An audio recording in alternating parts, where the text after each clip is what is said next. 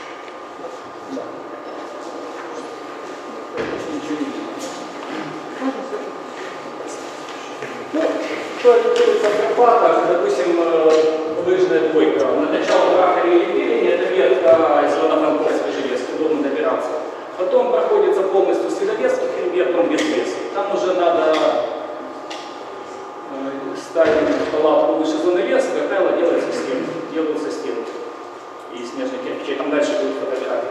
А дальше через перевал подъем на Братковскую, тоже выше там зоны леса, спуск в Быстрицу, оттуда через перевал регионов на Пляйскую, с Пляйской плата Сыбули, Сыбулю, и, например, заканчивая Старой Буки. То есть это уже, как правило, 2-3 хребта выше зоны леса, соответственно, подъемы, спуски. Это особо радостные такие моменты в лыжных походах. Спуски многим нравятся. Некоторые все-таки предпочитают только подъемы. Лыжная тройка. Если это Карпаты, ну вот э, в прошлом году я водил, мы, нас МКК выпустила по маршруту. Мы начинали в Микуличине, это тоже ветка железнодорожная от Ивано-Франковска на Раков. Там идет э, небольшой лесистый хребет до, э, со спуском в Верховину. Дальше вдоль Черемоша, вверх до Берестечка, наше Земброне село. И подъем на Черногорский Дальше по Черногорскому, э, Гаверла, до Гаверла, там перед этим Туркут был. Спуск в Лозовщину, Черная Тиса, подъем на Свидовецкий хребет. Дальше там Дагяский, Дагяский э, и спуск в Гущерный. Потом следующий хребет Красный. То есть это уже лыжная тройка. Это уже получается э, 4 хребта, 3 из них выше зоны леса. Э, По поводу четверки в Карпатах, она есть. Ее в свое время э, прошли цивилисты лыжники из Турклуба университета. Но под руководством Андрюши Москвов, кто знает. Но это была экспериментальная лыжная четверка в Карпатах. Ее прошла группа, которая перед этим ходила пятерки на Урале. То есть в Карпатах э, перепады по высоте такие, что лучше пройти, не знаю, на Урале или на Польшу на категорию выше, чем в Карпатах. Потому что в Карпатах э, циклическая температура, то есть минус-минус, потом оттепель. То есть раз в 3-4 дня обязательно погода меняется, А оттепель это туманы, то есть идти проблематично, если это хребтовый участок. Мы в прошлом году четверо суток, э, назовем так, дневали на Черногорском хребте, палатки, окруженные стенкой из кирпичей снежных. Ждали, когда наступит погода, потому что сдувало так, что идти нельзя было. Хотя как бы GPS был, по треку нужно было идти, но участников сдувало. То есть когда видимость 2 метра, непонятно, это или козырек, э, а дальше туман, или это все-таки продолжение. Ну, было достаточно сложно. Ну, когда в Карпатах еще мало снега, это на Новый год, я уже говорил, что это лотерея. Все новогодние походы, это как повезет. Снег нормальный в Карпатах ложится уже в конце января, а лучше в середине февраля. Уже снег, уже короткие оттепели его не смоют дождем, он всегда останется. Как правило, э, в зоне леса уже идет тоже тропежка глубокая, на хребтах тропежки нет, там все сдувает. То есть там либо наст, либо какой-то снег. Хребтовые участки в двойке и в тройке в Карпатах нужно проходить э, где это надо, одевать кошек. То есть без кошек идти на Черногорский хребет можно, но не нужно. Потому что вот эти оттепели плюс-минус делают ледяные корочки и образуется иногда... Хуже всего момент, когда сверху ледяная корка, которая лыжами не проваливается. Когда ты снимаешь лыжи, одеваешь кошки, ты проваливаешься по пояс под следующий уже слой снега, который перемешан с воздухом, с сланником. То есть тогда приходится уже то ли кошки к лыжам приматывать снизу, потому что конты не всегда на льду ну, в принципе, по району Карпат, что еще сказать, ну, в марте, в марте, в принципе, в Карпатах еще снег лежит. То есть мы в прошлом году заканчивали перед 8 марта, то, в общем-то, погода была хорошая, э, день был уже большой. То есть в начале марта заканчивать тоже можно, снег уже будет. На Новый год его может не быть. По району Карпат какие есть там вопросы? Еще вопрос по категориям. То есть кроме километража, насколько знаю, также есть еще другие требования. Правильно. То есть единичка э, это маршрут, проходящий по лесистым хребтам. Возможно, отдельные там полянки, полунины, но это не Черногорский, не Боржав. То есть единичку это выпустят э, подъемы, спуски, лесистые хребты. То есть э, это будет несколько хребтовых участков, будет какой-то суммарный перепад по высоте, это уже зависит, э, какой ты маршрут составишь, и члены МКК будут его рассматривать. Двойка это уже, ну, как пример, Свидовецкий хребет, плюс подъем на Братковскую, подъем на э, Сывую. То есть это уже э, один хребет с ночевкой, то есть может быть с двумя ночевками выше зоны леса, и две-три горки, которые то есть, поднялся и спустился. Ну, то есть получается перепад, перепад высот определенный и без леса ночевки. Насколько я знаю, вот, э, областная МКК там э, выпускает э, Володя Трелис, Андрюша Моско по лыжному. То есть вот требования такие, что ночевка выше зоны леса.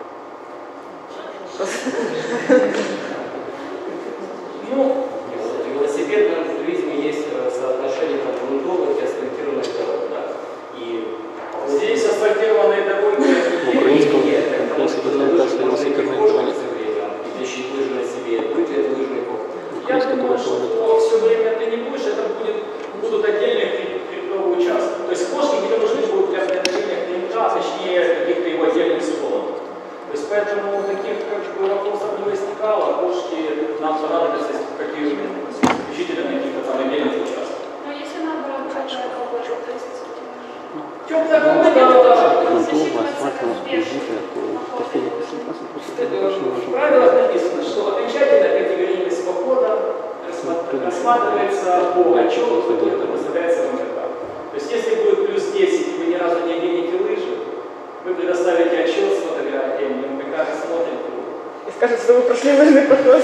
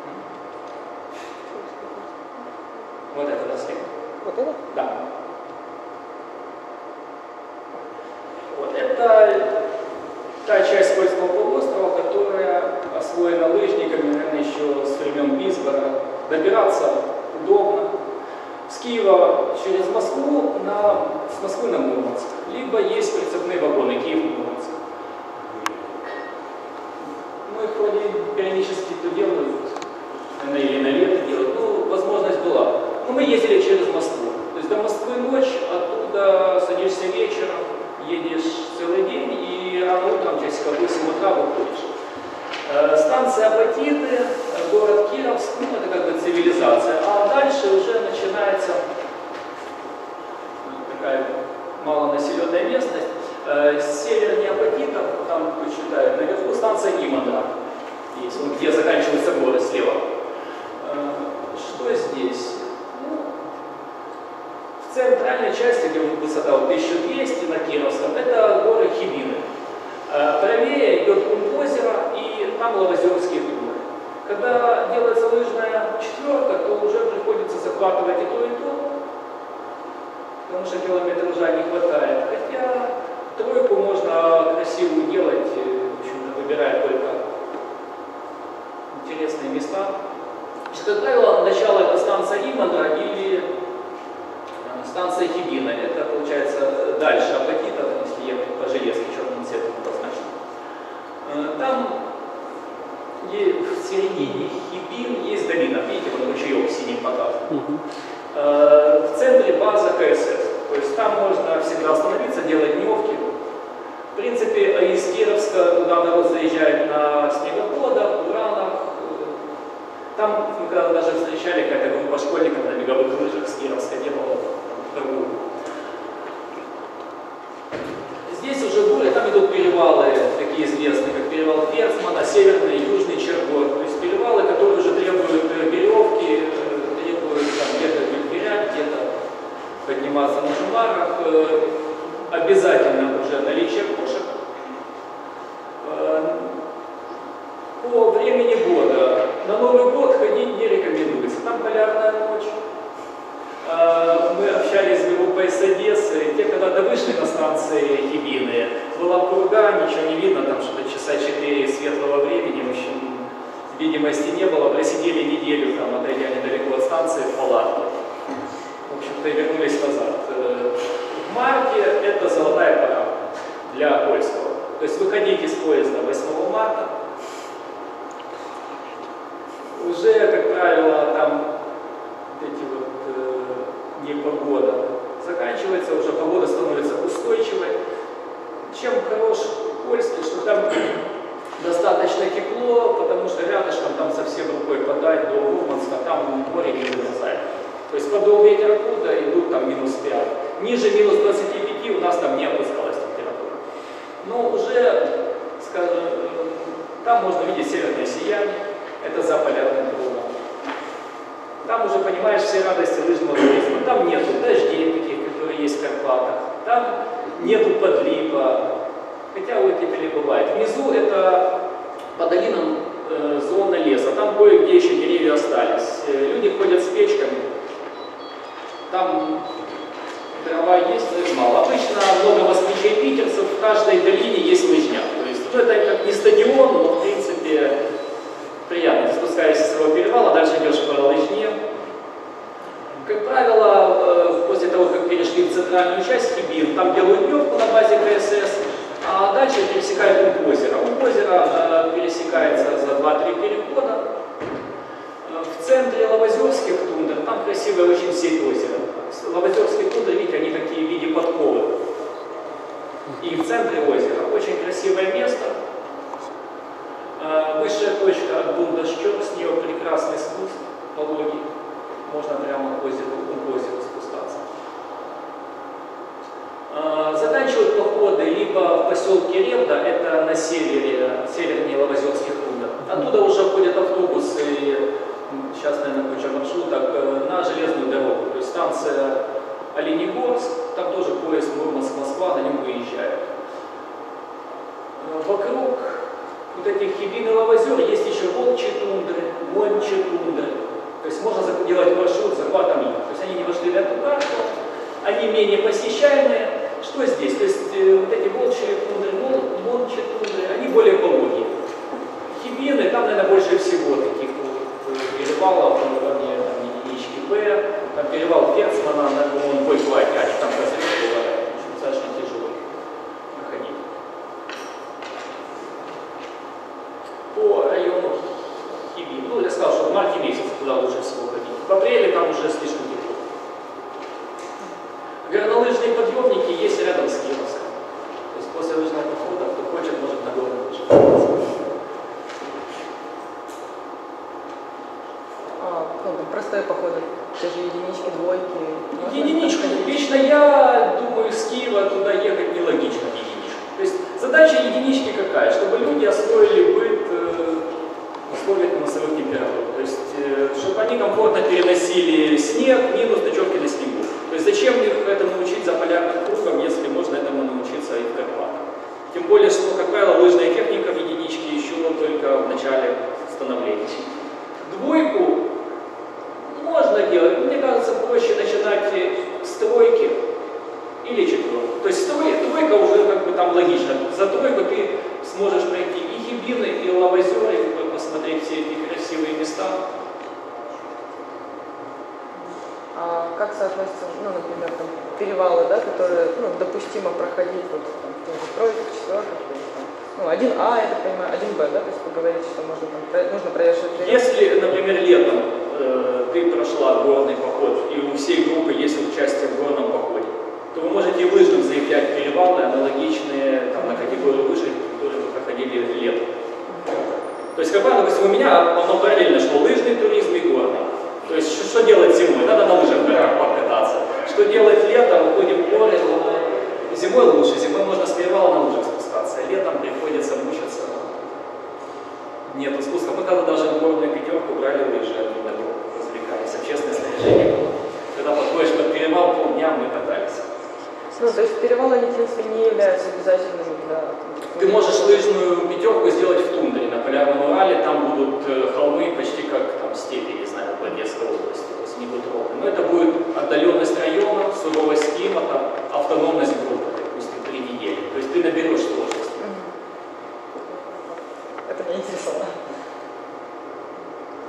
Ну, здесь железные дороги показаны. Ну, э, Основная это идет от Апатитов на Мурманск, потом идет из, э, вдоль Новозер, но она уже не действующая аренда и пошла на юг. Вот там поселок Кунча есть, сколько не жилой. Мы Когда там ночевали, там и охотничьи избушки были, там с печкой было хорошо, бесплатно. Туда часто, ну, в принципе, этот э, Кировский рядом, поэтому вот той же Кунче, там охотники на выходные выезжают. То есть Хибин и Лавозер их нельзя считать каким-то отдаленным районом, э, где не будет ни помощь оказана. То есть туда ходить можно. Почему такая популярность? Потому что близко Москва, близко Питер, и там много очень лыжников. И они достаточно такие комфортные. Ну, вон гора высшая Бундащер, Лавозерских тундрах, она прекрасно ходит. Вообще Лавозерские тундры можно, они в виде подковы, можно э, прой- пройти полностью сверху, протрелив сверху. Там не надо ни дюльферять, ни жумарить, ни ничего. Там, э, а некоторые боковые притоки уходят, да, там есть обрывистые склоны, натечный лед, но, в общем-то, лавозеры ходятся. В Хибинах есть хребты, есть отвесные стенки, куда ходить не хочется, хочется на них посмотреть и пройти через какой-то перевал. Вижу, температура, э, а, ну там плюс какой по сравнению с Карпатами, при минус 15, если светит солнышко, ты идешь без рукавиц. И При отсутствии ветра. То есть воздух уже более сухой, нету влаги, вся одежда сухая. На обед, э, если идти в марте, день световой большой, можно уже э, в обед поставить палаточку, когда ставишь палатку в марте, в палатке плюс 15, ты в одной футболке сидишь, когда она на солнце, на улице минус 15. М, В это время на лыжных палках сушатся спальники. Если спальники додумали сделать с темной ткани, то прямо видно, как идет. То есть оно все, что за ночь изморозь там на спальники попадало, они стали влажные, за обед спальники высыхают. То есть в Карпатах такой возможности нет. То есть такой там тоже понимаешь радости от лыжного похода. Когда за единичку двойку в Карпатах у тебя появилась техника, ты уже к быту относишься э, без всяких проблем, уже все знают, кому как комфортно подобрали одежду. В Хибинах уже получается все радость. А следующий, ну, по, по району Польского, какие вопросы есть? Интересуют какие-то особенности?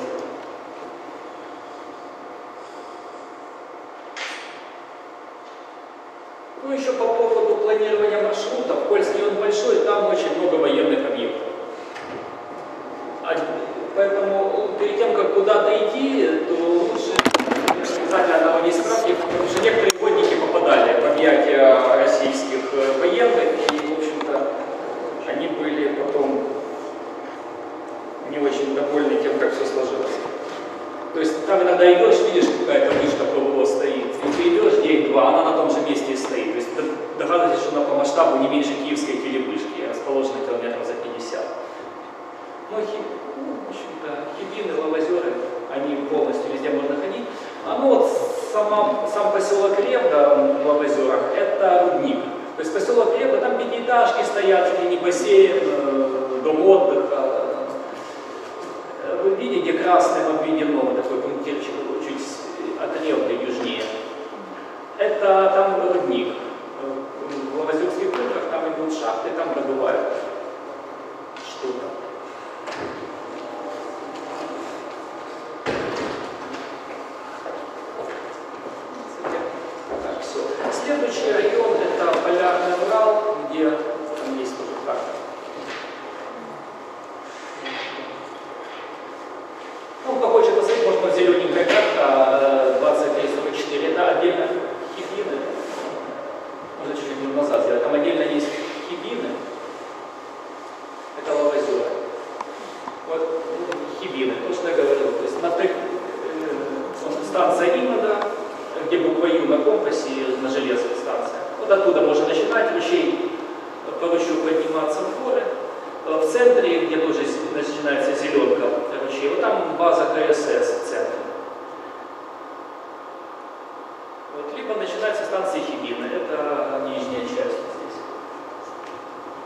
заканчивать, э, кто в Лев будет, кто заканчивает в Кировский Варианты есть.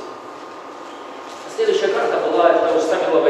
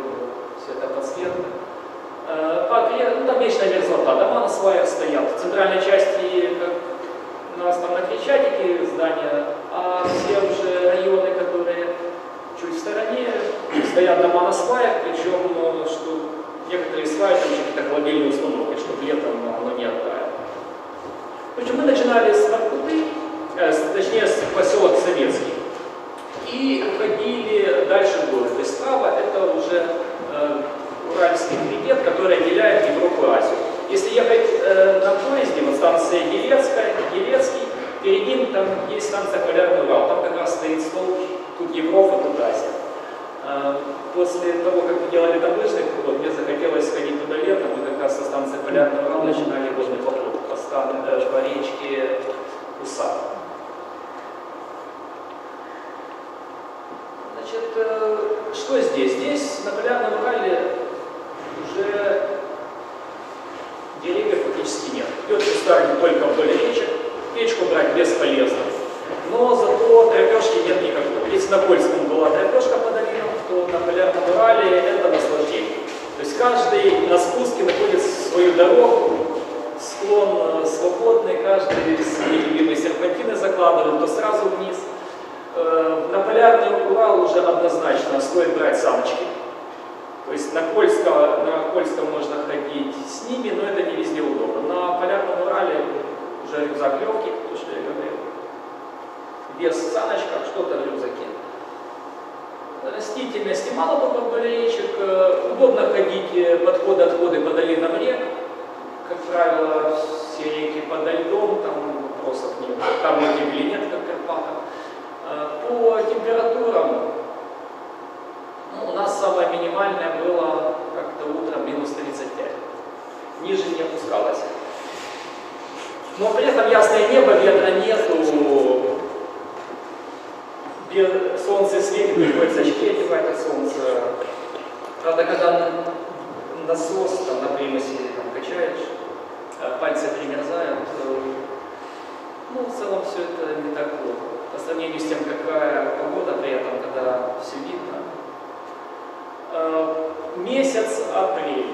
То есть некоторые ходят в марте, но в апреле это благодать. То есть начало походов там, после, допустим, 25 марта или вообще где-нибудь там 10 апреля. В общем, конец э, марта, первые 10 дней апреля это начало похода на полярном Урале. Э, К 20 числам, мар- э, 20 числам апреля уже начинаются фактически белые ночи, то есть сумерки.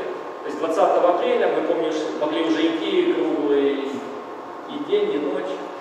Единственное, что когда сумерки были проблемы с определением масштаба, какой перепад по высоте, и что это маленький камушек или большая глыба. То есть, ну, тогда там были разные способы. Давайте лыжу отпустим, посмотрим, насколько она уедет. Потом увидим, какая она вот такая выйдет. Или все-таки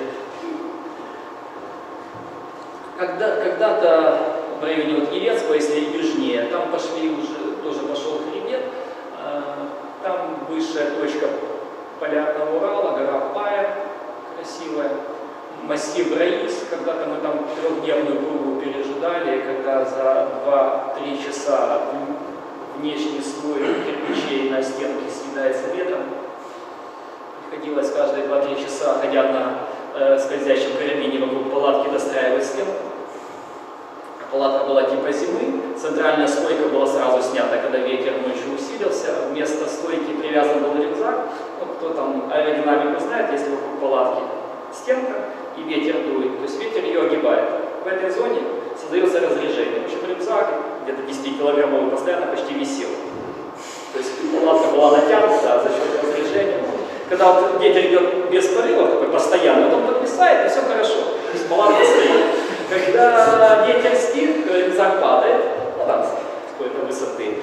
И когда порывы, ну, в общем, короче говоря, э, палатка бы при том ветре не устояла всю ночь, и ну, раз-два часа там твой сосед по ширке тебя там будет, который ближе к говорит, там, иди очищай, то есть э, снега метр, два, ну, метр наваливает, и получается он уже ну, то есть палатка лежит на спальнике, сверху снежок, вот, и он говорит, типа, уже снежка много, не могу руку поднять, там кто-то вылазит с лопатой, прополз между стенкой и палаткой, снежок. Причем снежок э, берешь так лопатой, просто поднимаешь наверх, но тут же ветер уносит. То есть главное просто так его поднимать, и его уносит. Если бы это, ну, ну, тогда у нас была вот эта круговка, ночь, ну, она просто запомнилась. Это, наверное, к тому, что все-таки единички двойки стоит делать в тех же Карпатах, а не на Польском Урале. Что когда все хорошо, оно все хорошо. Когда наступает нехорошо, то группа должна быть к этому готова. То есть, я, например, знаю, если в прошлом году мы 4 дня э, сидели на Черногорском хребте, и группа тоже освоила, как это все делать, как достраивать стенки во время круги. То есть я знаю, что, допустим, там они тоже это переживут. Но когда, ну, вот эта прога, то есть если бы она еще больше продолжалась, мы уже дошли на дну, где можно было делать пещеру. То есть, в принципе, если не погода такая, либо не из чего делать снег, бывает наплата, снега нет. Надо ставить палаточку где-нибудь рядышком, в случае чего в надуве выкопал пещеру, как правило, там ветра нету, э, температуру легко поднять. То есть с улицы минус 20 в пещере там горит свечка, и как бы снег э, позволяет там, температуру держать 5, около нуля. Вот, так, э, пра- пра- правда, после этого наступила отличная погода, целую э, дней 5, а почти неделю шел антициклон, солнце, красота, загорели больше, чем где бы это можно было. То есть народ не верил, откуда приехали загоревшие. Полярного Урала.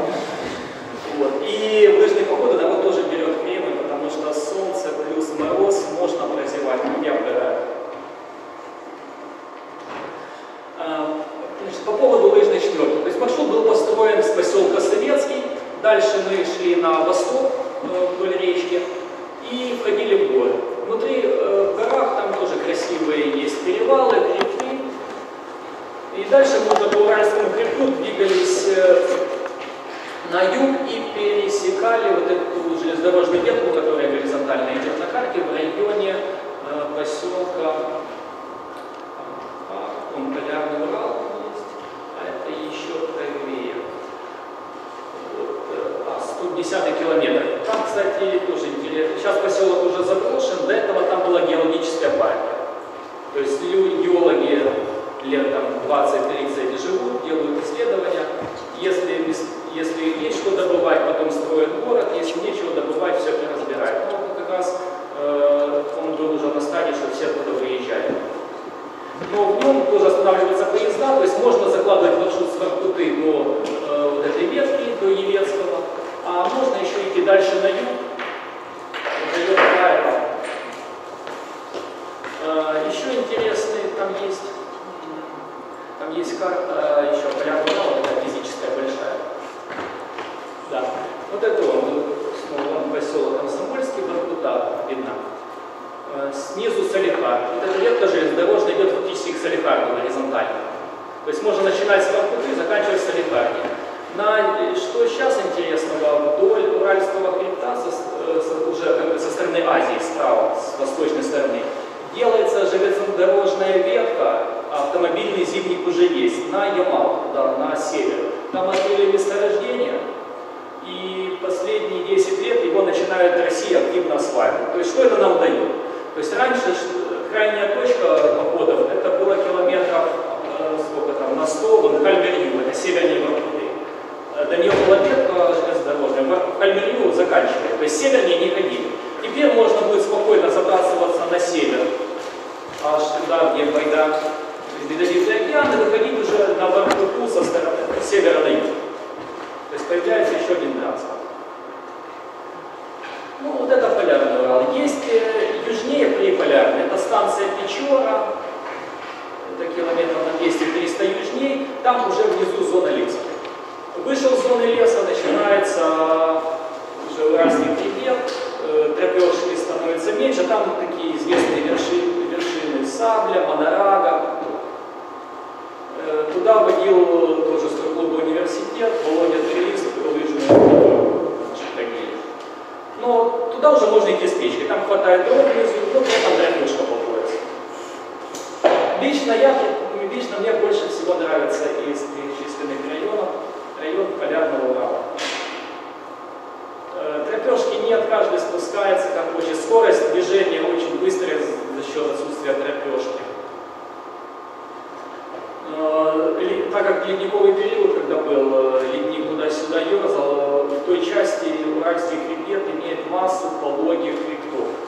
То есть кто хочет накататься на лыжах, ну, можно накататься на полярном Урале. В Карпатах такого не будет. В Карпатах будут либо э, подъемы, либо спуски. Иногда бывают пологие спуски, когда. И чем еще хорошо, там, там все уже ходят с саночкой.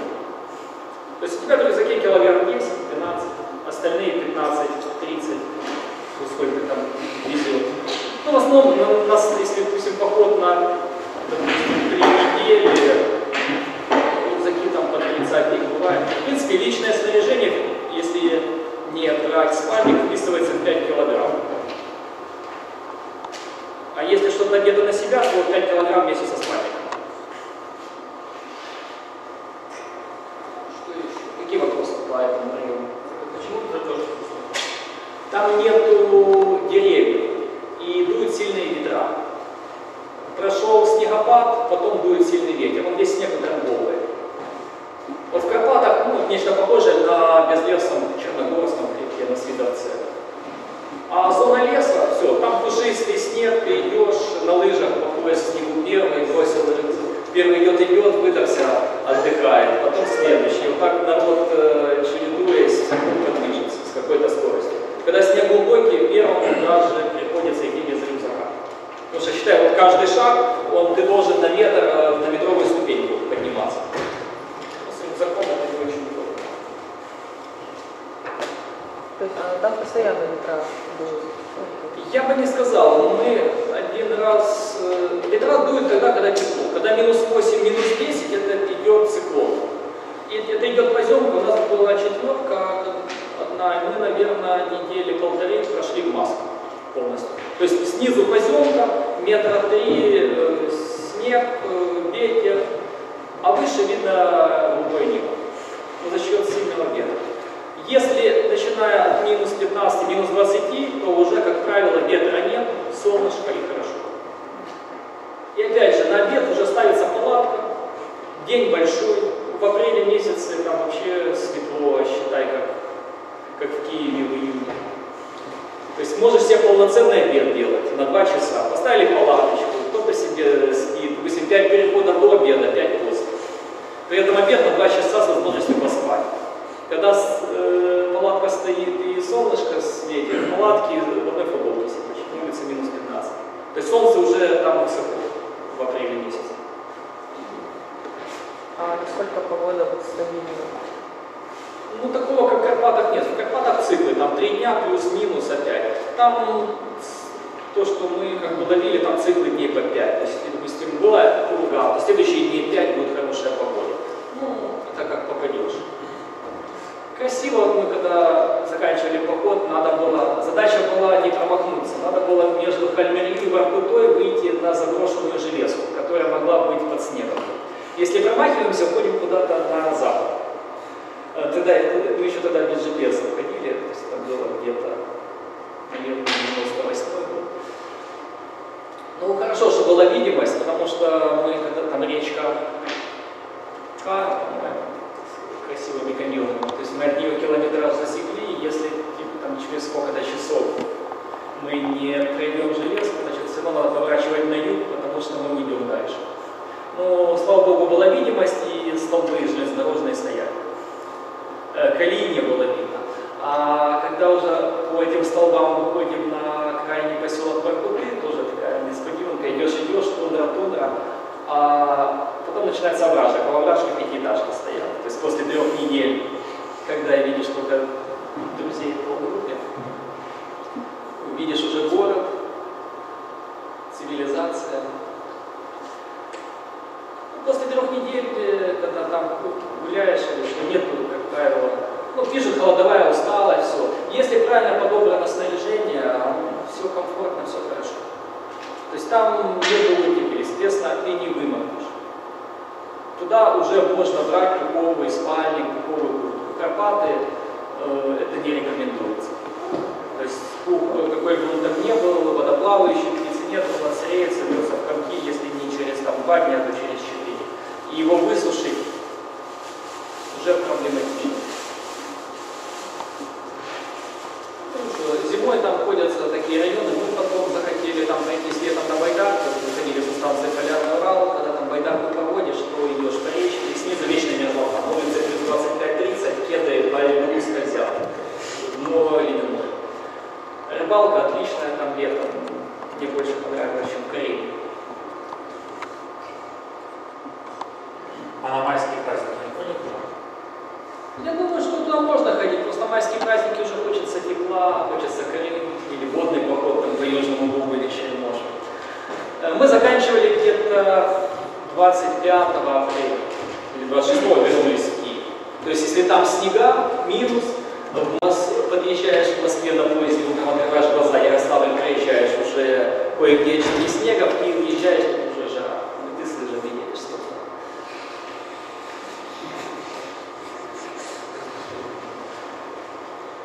Э, Когда мы были там летом, э, там отдельные снежники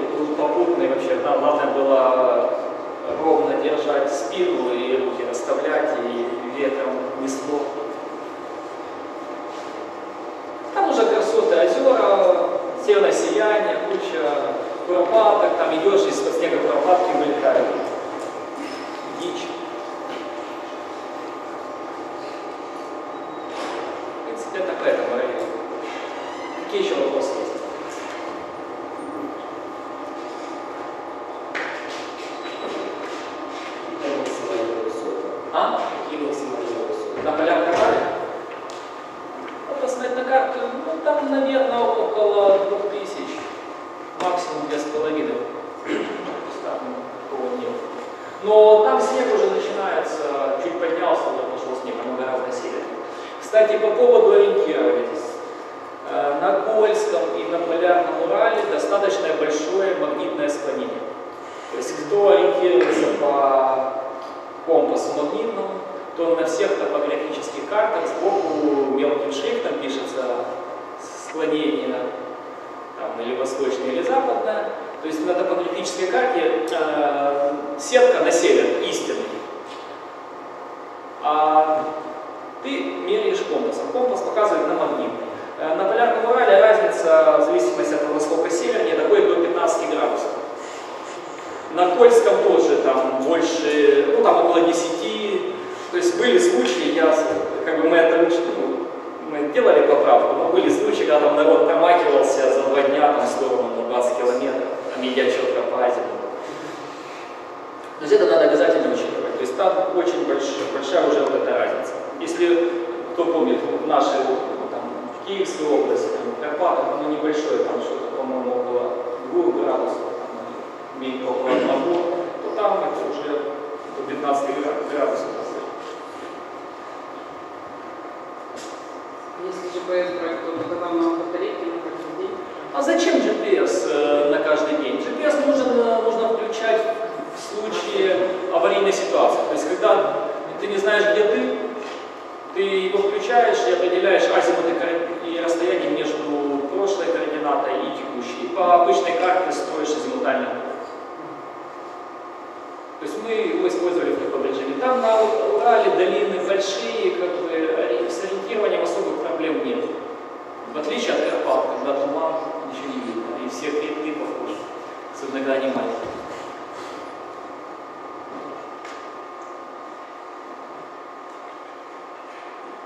Там есть фотографии, давайте посмотрим, там с лыжных походов в основном. Можно еще? Да. Ходят слухи про полярную отдышку такую, типа вот что в связи это очень северные районы, там особые условия гипоксии специфические. Если было у вас какие-то ощущения, в случае Не замечаю. Или вы- Аппетит не пропадал. На большом морозе как-то раз, ну, пока готовилась еда, обед, палатка стоит, все отдыхают, в палатке тепло, хорошо на солнышке. Э, Победили колбаску, сало. Вот, пока готовится супчик, э, кто-то там свой кусок э, колбаски взял своей ложкой и в рот запустил. Ложка примерзла без Ложка у него оказалась не алюминиевая, не флоровая, как не был человек. Вот, большая инерция, в общем, он потом на нее дышал, через несколько минут она оттаяла. Э, Сильный встречный ветер, образу- образуется нарост. Один а, завхоз у нас ходил с усами, в общем, усы у него потом смерзались с бородой. Тоже доступ ложки к обеду затягивался. А, Ну, в пала, туда район Полярный Урал уже надо брать палатку обязательно типа зима и внутренний слой. То есть кто ходил, знает, палатка шатрового типа с центральной стойкой и внутри подвешивается еще второй слой тончайшего.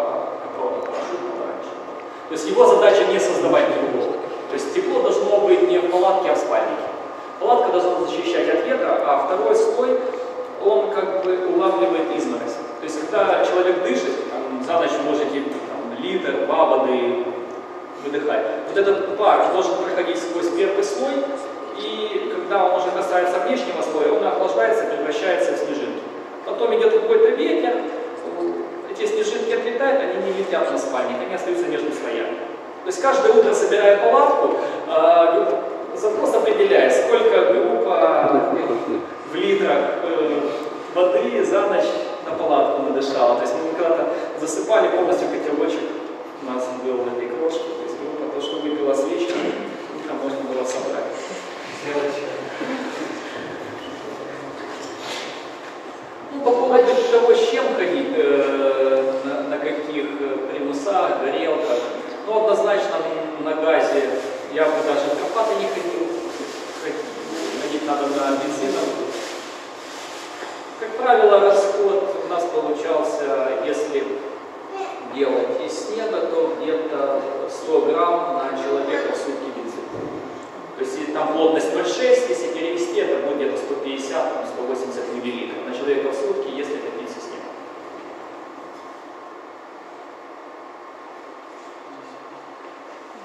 Хватит кинуть 200, что осталось. Давайте без ада. Можно с- поставить стол. Это, это наши любимые Карпаты. На полярный вот с вами девушки ходили где-то 40 мужчин. Нет, девушек надо брать, чтобы атмосфера в группе была.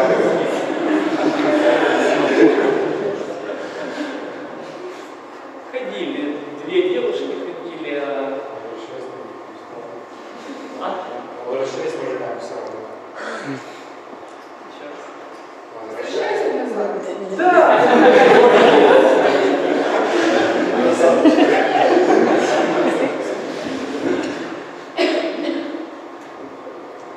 То, что может нападать. В Карпатах ну, за ночь может э, лыжа быть вся уже в снегу, мерзнуть. Изморозь намерзает. Вот это вот э, элементы вот единички, может быть, отдельные участочки, вот такие крепкие, какие тут покрыты лесом. То есть единичка, ну, лыжня уходящая вдаль. То есть вот это единичка. То есть э, долины, либо вот такие хребты. То есть спуски, подъемы в зоне. Леса,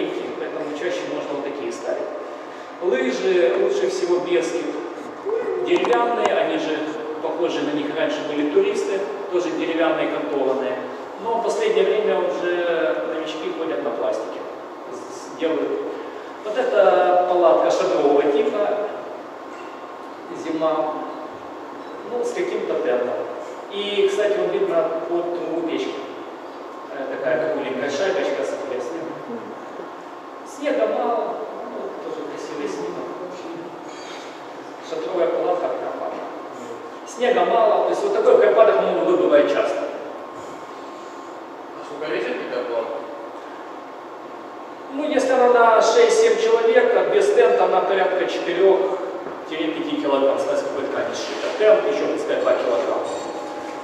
Э, постановка палатки обычно начинается с того, что надо вначале утрамбовать место. Все становятся на лыжи и начинают водить хоровод э, под место палатки, выравнивая снег.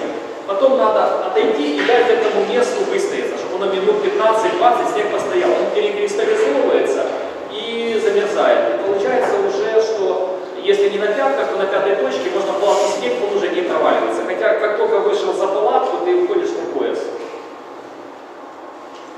Ну, центральная стойка в палатке, Как правило, ее делают из двух лыж, связывают, там, делая нужную длину, потом эти лыжи первым делом кого-то из участников снимают и ставят в центр. Когда у нас была пурга, я рассказывал на полярном Урале, э, массив Раис, э, первым делом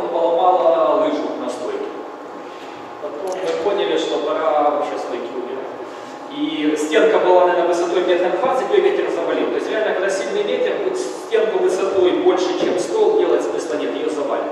То есть проще сделать маленькую стенку и такую палатку как бы завалить. То есть убрать центральную стойку, залезть в теплую шибку, там себе да, спокойно спать и так ухо когда вытягиваете, смотрите, что делается на улице. Можна? А робити у випадку, якщо ну, от лижа поламалася? Брать в следующую лыжу. А, запасні не була лижа? Не, ну лыжа ломается в том случае, когда идет ураганный ветер. То есть если такой ветер, и ее ну, руководитель ушами прохлопал, или там никто из участников не догадался, и стойку эту не убрали раньше, то ставить следующую смысла нет при таком ветре. То есть запасные лыжи берут, Запасную лыжу обязательно берут. а если снимаешь стойку, то получается ты сразу спишь, то есть спа- палаткой. Ну, она на спальнике лежит, ну? Если это не Карпаты и сверху дождь не идет, а просто снег, мороз, ну и что? Тебе само сверху четырехслойный спальник, ну хочешь капюшон, можешь там сверху себе да, сдвинуть на лицо. Никаких, никакого дискомфорта нет. Это представители сельхозакадемии Карпат. Вот это фотографии палатка Саши Росляка. Вот печка. Э, С печками какие головные боли? Что если идет снег и палатка без тента, то от того, что в палатке плюс 25, а то и 30, снег э, тает, и в палатке может начинаться дождь. Э, Мы когда, я из всех походов только один раз в Карпаты ходил в лыжную тройку, мы ради интереса брали палатку с печкой. Все остальные походы на Кольском, на полях, везде без печки. При наличии современных материалов печка фактически не нужна. Она нужна была в эпоху Визбора. Она должна была, когда была только брезентовая палатка, телогрейка, какие-то там валенки и брезентовые штормовки. После того, как появился уже капрон, начиная 80-х годов, необходимости нет. То есть ты можешь спокойно на своем теле все это сушить, если это надо. И он не замерзает. Мой, мой первый лыжный поход мы ходили, а, он был не категорийный, по Владимирской области, под Москвой, там Золотое кольцо России, а, от села к селу, там через леса, ночев, ночевки были в сельских школах. Это была школьная группа. А, У меня были брезентовые бахилы, я до сих пор вспоминаю, как к концу каждого дня они превращались во что-то ледяное, не сгибающееся. Главное было оттуда высунуть все-таки ботинок, потом мы их сушили. То есть на один день таких бахил хватает. То есть брезент брать не надо. Поэтому печки, как бы, они хороши, но получается большой контраст между на улице минус 20, палатки плюс 25. Если у тебя вся одежда сухая, печка не нужна. Печка, она дае как бы затышок, там, можно на гитаре поиграть, все, но большого смысла в ней нет, на мой взгляд, на мой субъективный взгляд. Э, ну, как правило, печки современные вместе с трубой весят э, ну, где-то там 7 килограмм, 7-8. Плюс к ним еще надо топор, надо пилу. То есть это, грубо говоря, 10 э, килограмм, то есть это по килограмму лишнему на человека. Но отдельные участники предпочитают все-таки печку и комфорт больше нравится. На трубу надо ставить искрогаситель, потому что тяга обычно большая, там труба идет простейшая, печка аж гудит, раскаляется до красна. И если искры попадают на палатку, получается куча микродырочек. Потом начинаешь клеить в куда снежинки не залетали. Это типичная карпатская погода, влажность, температура там около нуля, ночью был минус, все лыжи в таком налете снежном, в общем, приятно, надо смотреть. Это вот печка. Как правило, снизу э, стоит металлический лист, чтобы снег под ней не таял. Некоторые делают усовершенствованные варианты печи, где верхняя крышка снимается и туда ставится котелок. То есть не на печку ставишь, когда эффективность маленькая, а именно вовнутрь печки. Когда надо, вместо котелка туда ставится другая крышка. То есть мы, мы тогда относили, мы растапливали на ней снег, то есть экономили бензин. То есть до красна. То есть печка гудит, э, тяга такая, что будто рядом самолет стартует когда хороший мороз. Чем больше мороз, тем лучше тяга. А, ну, кстати, вот такие пилки в последнее время вот, в Туркубе университет популярностью пользуются, а, вот такие лучковые. Они легкие, э, хорошо пилят, от цепных потихоньку народ отказывает.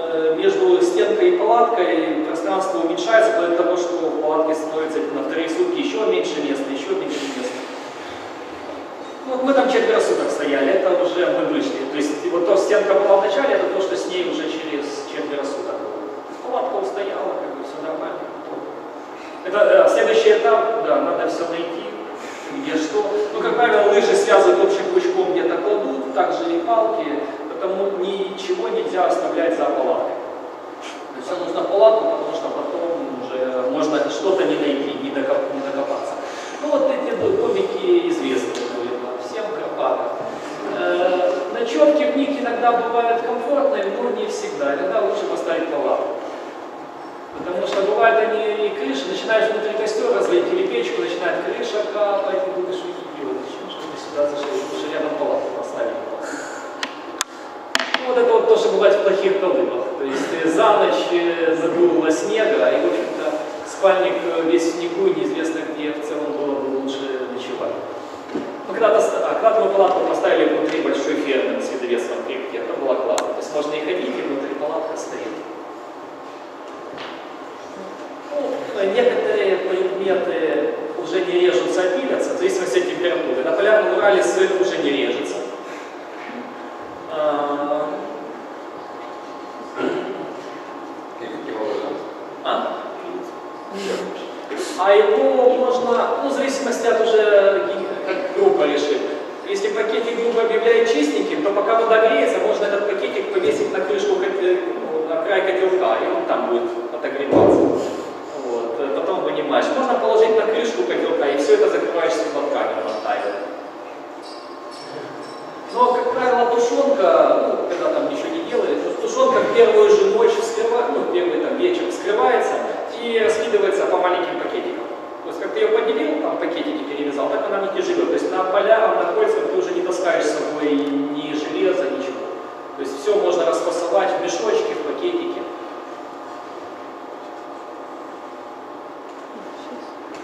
И рюкзаки, как правило, большие, народ берет, потому что вещи занимают уже больше объем. По поводу складывания рюкзака, тут тоже центр тяжести хочется делать ниже, потому что когда он высоко, не успеваешь отрабатывать э, мышцами пресса, допустим, едешь по снегу, там, трение лыж большое. Видишь, впереди начинает блестеть, значит это будет лед. Сейчас лыжи начнут ехать быстро вперед. То есть надо наклониться вперед, чтобы за тот момент перехода успеть как бы отбалансировать. И снова занять нужное положение. Ну, спуски это отдельный разговор, там, падать надо правильно, в принципе, начинают всех учить с правильных падений. Лучше Одежда в всего- основном мембранная? А? Одежда в основном мембранная? Мембранно это спорный вопрос. Все зависит от того, где наступает точка, э, называют точка росы. То есть где твой пар переходит в изморозь. Если ты такой горячий и на улице достаточно тепло, мембрана может работать. Но если пар, доходя до мембраны, превращается уже в лед, то мембрана фактически является недышащей. То есть ты будешь весь э, в снегу внутри. У нас как-то человек взял ветровку недышащую, он на польске. Это было, это было в браке. То есть у него весь полон был весь своей же... И он полночи потом тот полон сушил.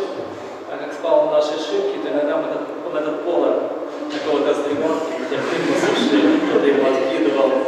Ну, скажем так, ошибка всего лишь, что взял ветровку, ходовую ветровку, которая не дышит. То есть это фактически, ну, он там зубами стучал весь поход. Я чем ходил? Если достаточно тепло, ну, скажем так, до минус 15 я хожу, допустим, термобелье летнее для отхода влаги. То есть шерстяные я не использую. То есть оно тоненько, что потом сверху сотый пола и ветровка дышащая. Это если нет сильного ветра, там минус 15. Если э, сильный ветер пошел, ну, можно э, там сотый родить. То есть, я говорю, что вот если ходить в марте, в апреле, то бывает иногда очень жарко, да вообще тебе жарко просто в термобелье без ветровки. Хотя на улице там минус 8, минус 10. Тоже такие вот единички, двойки. Вот это вот типичный карпатский, типичный карпатский пейзаж. На хребте весь снег сдувает. А, вот это тормозилки, то есть э, наш уважаемый человек Рома, у него, сделай назад, Э, Видите, вот на лыжи намотана веревка белого цвета. Э, Чтобы лыжи назад не ехали, когда особенно на подъем идешь, э, народ наматывает веревку. Как бывает так, что на, на пластик уже надо наматывать, а на деревянных лыжах еще можно идти. То есть в этом плане с пластиком немножко хуже, но что делать, деревяшек все меньше и меньше. Какой минус? Если в этих тормозилках их ты на спуске используешь, ты не можешь кантоваться. У тебя кант уже в нас не входит. То есть веревка не дает кромке резать нас. Ну, вот это вот жара в Карпатах. Как бы такая же картинка может быть с любого другого опыт замученных участников. Вот здесь вот видно, какой пара человека идет. Он видишь, там зенит. И если бы на, на нем где-нибудь была ветровка, э, не дышащая, это все, полон был. Это наш уважаемый Дагима Палец в университет. Ну, ма- маски, э, к сожалению, приходится одевать иногда по походу. Очки от солнца. Тоже необходимая